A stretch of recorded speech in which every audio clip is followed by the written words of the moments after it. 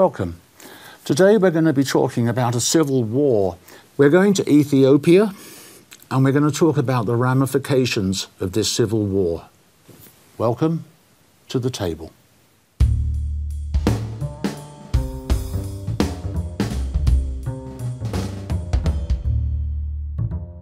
Welcome to Rational War. What is it good for? Absolutely nothing. I'm joined at the table today by Furtuna. Furtuna is an Ethiopian and she has lived in this country for quite some time. Let us introduce you to Furtuna and she'll give you a little bit about her background. Furtuna? My name is Furtuna Hailemariam and I was born in Ethiopia, came to United States when I was uh, young and uh, uh, the first one that I came was Washington, D.C. From there, I moved to Nashville, Tennessee. From Nashville, Tennessee, St. Louis, Missouri. Now I'm in Colorado. I was born in Ethiopia, but my parents are from the northern part of Ethiopia, Tigray. Okay. So you're a Tigrayan? Yes. Wonderful. I'm going to actually read a little bit here about the start of the war because I, I don't think either of us could put it into better words than this. On November the 4th, 2020, now there's a date that should ring a few bells, and we're going to talk about that date in a minute. The Ethiopian government and its allies declared a genocidal war on Ethiopia's northernmost region, Tigray. As military forces encircled Tigray and brutally invaded the region, the Ethiopian government promptly shut down telecommunication and internet services. The impact of the telecommunications and internet blackout has been catastrophic. Tigrayans in the uh, diaspora have not been able to talk to their families in two years. The Ethiopian government has switched off an entire region to hide the atrocities that their forces and allies are committing in Tigray. November the 4th. Why did they pick that date? The reason why the, the, Prime Minister of Ethiopia, which is Abiy Ahmed, he chose November 4th, 2020, because at that time in America, it was election day. Joe Biden got elected, and he knew that the world would be distracted by the elections. I myself didn't even think this would come. I was so focused on who's going to get elected. I was getting excited. I was watching CNN, and then out of nowhere, it's just like, boom, there is a war and he did that because he knew that they would just focus on what's going on in America. And of course, a couple of months after that, Russia invaded Ukraine, which again took the heat off him, especially with the telecommunications blackout. Mm-hmm. Terrible. Let's talk a little bit about who's involved in this. Who are the TPLF? The TPLF are the t- uh, TPLF stand for Tigray Liberation Front. They are Tigrayans and, but it's just uh, the TPLF were born in the mid 1970s. So they were in power for 27 years. And they fought the previous regime, which is called Derg, and they fought for 17 years. And uh, they won the war, and then they were in power uh, after that. And the TPLF, uh, the prime minister at that time, his name was Meles Zenawi and he was in power for 27 years. And he the country actually he developed it really really good. And we had uh, a grow than what it was before the previous regime was. After that uh, 27 years 2018 the prime minister died uh, we don't know the cause of death. And then after that, we didn't really have anyone in power until 2018. It was still the TPLF that was running it, mm-hmm. but we didn't really have, uh, you know, a president, a prime minister. So in 2018, the TPLF left the office and Abiy Ahmed, which is now the prime minister of Ethiopia, he took power. And he, at that time, 2018, he was not elected. They just gave him. And then once he became in power in 2018, what he did was spread hate against the Tigrayan people the Tigrayan people only make up 7% of the population of Ethiopia. So the main, the huge population it's called the Oromo, and then the Amharas, and then the Tigrayan. We're like almost 7 million people. We're not that much. And then he starts spreading hate, saying that the TPLF are bad, the TPLF are this. He was calling us hyena. He was calling us we are losers. He was calling us a lot of things. And the Ethiopian in general, the people, they observed that. And even the people that I was friend with for a long time, they all kind of decided not to be my friends because they were party of the other tribes. He spread a lot of hate, and it worked out for him because now he's in power. Why the hate? I mean, did the Tigrayans do anything to upset him, or is it just something that's internal, something that's been going on for centuries? During when the prime minister of the previous uh, prime minister before he died, Meles Zenawi, Abiy Ahmed, the prime minister now, he actually worked with him. So he was part of it too. So I just didn't understand what was the reason for him to do that now. But at the end of the day, you never really understand politics. I really don't get it. So yeah, I don't have an answer for that because I don't know how politics works. Right. I don't know why he created so much hatred. I don't know why he started the war to begin with. Till this day, I still have a question. Why did he start the war? I'm sure they know, you know, inside is different, outside is different. Most of the Ethiopians, they're not educated, meaning that especially they're farmers. Mm-hmm. So they go based on their followers, they're not leaders. Meaning if somebody say, hey, let's hate so and so, and then they just follow. Instead of asking, whoa, what's going on here? Hold on. They don't do that. They just follow the, the herd. So who actually is involved in, in the conflict? Because it was more than just Ethiopia, wasn't it? The neighboring country, which is Eritrea. How did they get involved? Okay, in 2018, Abiy Ahmed, the Prime Minister of Ethiopia, he got a Nobel Prize for creating peace between Ethiopia and Eritrea. I feel like he got the Nobel Prize to attack the Tigray people because he didn't create no peace. And the Eritreans, the president of Eritrea, which is Isaias Afwerki, he does have so much hate towards the Tigrayan people that he kept for a long, long time. He used that peace negotiation to destroy the Tigray people. When we talk about genocide, it's always about ethnic cleansing. That is what they're doing. And that is exactly what they're doing. Yeah. The prime minister advisor, he's a priest, is the Orthodox priest. He literally told them that if you were to drop a drone in every city of Tigray, one by one, we could eliminate the Tigray people completely, wipe them out, and destroy them from the earth. That was their main purpose. And that's their reason. Yeah, they wanted to wipe it out completely. And these people are religious leaders. That's unbelievable. Yeah. Because, I mean, you're Tigrayan, but I've also noticed you're Christian. Yeah. Well, maybe there, maybe there are certain people in the church that don't really understand that. I don't know how God works. I, I know. so. Now, a part of the genocide, of course, has also affected the population so badly, especially women and children. And we're hearing lots of reports of sexual abuse, rape, etc. Can you give us a little bit of an insight in, into what's happened there, especially with the children? Because um, children should never suffer, and they are being made to suffer. Since it's been hap- it happened two years ago, don't quote me for this, but because a lot there's a lot of things that happen within time, but they were told when the soldier were getting interviewed, the Ethiopian soldiers and the Eritrean forced soldiers, they were told to rape the Tigrayan women and the Tigrayan children so they would never ever have another Tigrayan man. So this was an order, a military order. It is order. So it was purposely done. So they were told that if they rape them, so they will not have a strong Tigrayan, you know, yeah. women will not have a Tigrayan man. Instead, they will have somebody else. They, they, they were literally told by the government to go rape the. And it's, it's sad because it's four years old. How do you rape four years old? And then 87 years old. How do you rape 87 years old? It just it doesn't make sense. And there was one particular woman. It's very graphic. They raped her and they actually put nail in her private area.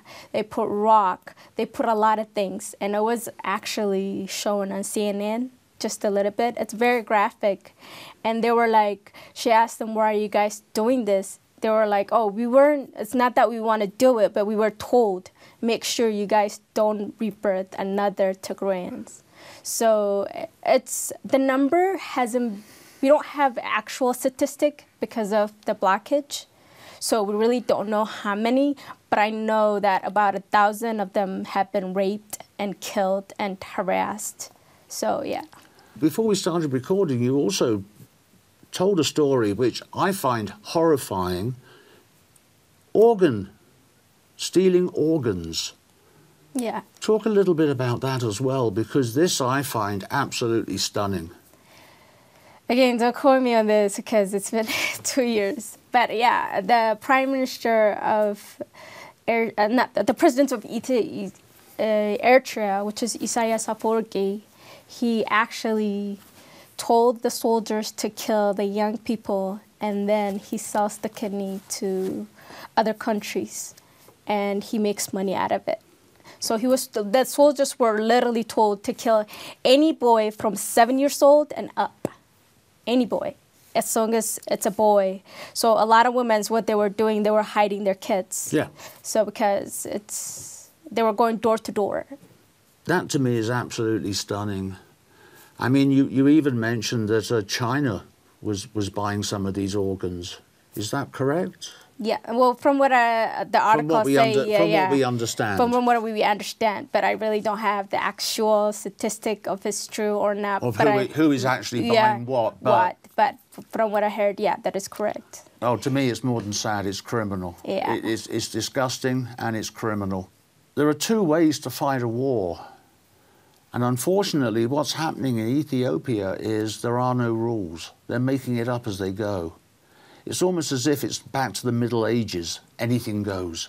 Obviously, with the effect of the kids, what about schooling? I mean, that must be horribly affected now for uh, the Tigrayans. Yeah, school wise, almost 85.5% of the schools are destroyed. Meaning that actually the Eritrean soldiers took most of it to, because uh, Eritrea is close to Tigray. Mm-hmm. It, you could actually, it's not that far. You could take a bus or a yeah. car. So they have literally deliberately taken the uh, laptops, the everything, the desk, everything, everything's gone completely. So there's nothing left for the Tigray people. We just have to start over. It's going to take us maybe 20 or 10, 30 years to rebuild the whole region. Everything is demolished. They were taking yeah. school chairs and laptops, blackboard, blackboards, everything to Eritrea. This just gets worse and worse, doesn't it? Yeah. And I'm, I'm only smiling because I cannot believe what I'm hearing. Yeah. I mean, this is this is terrible. Any idea how many people have died in this conflict? I would say close to a million, but we don't have a number because it's no, been again. blocked. And uh, the Ethiopian government, the Prime Minister Abiy Ahmed, literally deliberately didn't want anyone to come and investigate. Even the United Nations did try, and the, Uni- the European Union tried, but he didn't want them. So maybe now, if they, you know, sometimes they hide it mm-hmm. after maybe now they could go and search and figure out how many people die and stuff because a lot of them have also um, there's a lot of refugees in sudan right now close to 500000 because of the war conflict right yeah and uh, a lot of them what the soldier would do is that kill them and then they throw them in the river so we don't know how many it, it's almost impossible to work to out how many have yeah. actually perished mm-hmm. And I suppose that's also true of we, we don't really understand how, how the children have been affected by all of this. Now, we know they, they've got no schools, but I mean, they probably also have got no hospitals, no doctors. I, I, suppose the list just goes on and on that they are lacking now in everything. Some of them, from what I heard, is that they were eating grass to survive because they didn't have anything. Yeah. I know. I mean, one of one of the, the charts we found here is that there was a talk here of of you know, aid that's mm-hmm. coming into the country. And the white area here is the Tigray mm-hmm. region. And the white means they had absolutely zero aid. Prime Minister Abiy Ahmed, his advisory, his name is Daniel Kibret. The reason why they did that because they say if we starve the Tigrayan people, and then they become weak, and the soldiers cannot fight. So that is why Abiy Ahmed he literally blocked communication. Also, they were not allowed to get their money too. Money like bank was closed for two years. Ah, okay. So you're not allowed to even take out your own money. So it's kind of bizarre. See, the thing about the starving, I mean, that reminds me of the Middle Ages when a castle would come under siege, and of course, the surrounding army tried to, you know, starve them out, basically. And here they're doing it with an entire region, not just a single castle. It is my understanding that the conflict has slowly abated, and it's probably now not as bad as it was, or it's even stopped at the moment. Do you, do you agree with that? Based on, uh, like, you know, of course, the European Union or the some of the news, yeah, they say stopped, but from what I heard, it's still the Eritrean force is still in Tigray. They're not fully out yet. They're still there. So the Ethiopian government, Abiy Ahmed, he's very, I mean, he's a liar. He's really good at it. He would say one thing today and he would change his words tomorrow. So he has to lie in order for him to get help from the United Nations or from the European Union because you know they get funds for the mm-hmm. country. Yes. So they've been lying for the past three years. They even said for the past six months until CNN went there and saw, they denied saying that the Eritrean government soldiers, the soldiers, were not in Tigray for six months. So it's kind of hard to believe what they say right now because they've been lying for too long. So I really don't know what's true and what's yeah, not we, true. we just don't know whether that's true know. or not. We just do not know. we do not know. We don't have an accurate answer. I mean, one would kind of hope that the uh, the European Union, UK, America, etc., wouldn't do a thing until they had been allowed to visit and look at seeing what's happening, especially in Tigray. Yeah. Well, right now the communication is open, and also people are allowed to fly to Tigray. Mm-hmm. So I'm hoping that they'll be able to go there and help the people, and also Tigray needs justice. We deserve justice because, I mean, it's just it's not fair. What what happened is a genocide Yes. and it should be uh, somehow the Ethiopian government need to be accountable and responsible, own up to it, and and we lost a lot of family. Even I myself did, and a lot of people did. So we didn't even have a chance to call and say, "Hey, sorry," you know. No, none of that. Yeah, because you didn't talk to your grandmother for what, two years? Mm-hmm. Amazing. But you have spoken to her recently. Yeah, uh, after January first. Yeah. Okay. Ha what sort of impression did she give you about what's happening at the moment? They're not allowed to talk about it because the phones are tapped. Oh, really? Yeah, so they're not allowed. Even if it's bad, they're not allowed to talk about it. So the government, yeah, it's open, but you're not allowed to say anything about the war because the phone is tapped. So you don't know who's listening. Got So- no idea who's listening and Yeah. all so the rest of it. the only thing you could say is, "How's everything?" Whatever they say, okay. Right. Okay. Finally, how can we, the people, help the Tigrayans? The way you can help the Tigrayans, uh, it could be money. Also, I would love for anybody in America or anywhere in the world, like you know, teachers and psychiatrists, therapists, counselors, if they could go there and volunteer, because we need that. Because right now, the whole Tigray, the whole region, needs mental help Yes. and they're really dysfunctional, you know. And they also each soldier that went to the war, the reason why they went to fight is because they lost family mem- members from each household. Some of them lost like 13 Wow. of their like you know parents, Yes. siblings, and some of them lost five. I mean, so that is why they went to war. And these people, in order for them to be to live again, they need mental health, which is we need doctors. Also, we need doctors we need food, we need money in order to survive, and education too. We don't have no school supplies. We don't have. They don't have anything in general. So we're starting over. Basically, they- they, they need to build everything from the ground up. Yeah. So I'm hoping people will help out with money or volunteer. They could go there. It's open right now, and the Tigray government is welcoming anybody that's willing to help and willing to do anything. Just, you know, a little help will count. So I'm hoping that people will go there and visit and see what's going on and help the people to. It's not going to be a year thing. It's going to take at least 20 years. It's not something because a lot has been damaged. I wouldn't be at all surprised if it didn't take longer because obviously, you know, what's happened in the Tigray region is going to be in living memory for It is. two, three, four generations of what they suffered from their own government. I personally don't resonate with the word Ethiopia. I No. shrink when somebody say, "Are you from Ethiopia?" Because we're not from. Eth- uh, yes, I am from Ethiopia, and again, I'm not trying to spread hate or anything, but I felt like I've been robbed Right. because for me personally, uh, all the people that I was friend with, they were Ethiopians. None of them call or ask, see how I was like doing or anything, and instead they were protesting and supporting the government to kill the Tigray people. So Even friends of yours. friends, I don't have I have no friends right now. I have zero friends. no, you've got a friend here.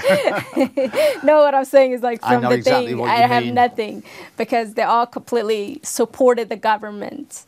And now one single person say, "Hey, you know, are you okay? Is you know what's going on?" It's just it's kind of sad because, and the reason why I'm sad because I went to Ethiopia in 2017 to 18, and I was volunteering and I was helping and now the country i'm in my 30s now you know it's kind of hard to create a different identity yes. so it's like i'm lost what do i call myself? It's hard to resonate with the word ethiopia. Yeah when i see people i say i'm from ethiopia. I usually say i'm american because i am but it's just hard because the ethiopians are against its own citizens. So how do you claim it? I don't know. You know, it's kind of strange. It's, it's you know, I come from Hampshire, a county in England, but uh, I'm al- I always say I'm a Brit because I am. You're Tigrayan, and that's what you're proud of, yes and you should be. And I have no hate towards Ethiopia because at the end of the day, the ground is still the same. The people are the problem. But it's just Well, the politicians are the problem. Yeah, and then the people who supported the politicians, they knew right from wrong. It has nothing. Every time when you talk to another Ethiopian, they always blame TPLF, TPLF, TPLF, which is Tigray Liberation Front. Right. But this has to do with humanity. We lost a lot of people. It really is a sad state of affairs, and I, I just hope that people that watch this can spread the news about this, and, and hopefully we can start getting some donations coming in, and uh, do a little bit to help. Definitely. Really- And I, I honestly, humbly, I do appreciate it. I am grateful to be here. I wouldn't take it for granted. And it's a lot. a lot has happened. Yes. And my mind is racing too. but I'm hoping people will understand. And if they need more information, they could always contact, you know, they could always go to my Facebook, which is Furtuna Hailemariam. And then uh, if they need more infa- information, I'll be able to help them out. But yeah, I, I mean, the people needs our help. And right now we are under famine. Yes. Almost 2.5 million children are under literally famine. Living in famine Yeah. So conditions. yeah. I don't understand why American media wasn't on top of this right from day one, and they should have been. Closing on a, on a small note, one of the comedians I always enjoyed was Red Green. Red Green had a very famous saying We're all in this together. It's about time people around the world suddenly understood we are all in this together. Let's just get on, fix things that are really broken. Anyway, I'm Nigel Aves, your host. Thank you very much for watching this show. Don't forget to hit the old subscribe button that you'll see in the uh, bottom uh, right hand side of the screen. Until the next time, signing off. Goodbye.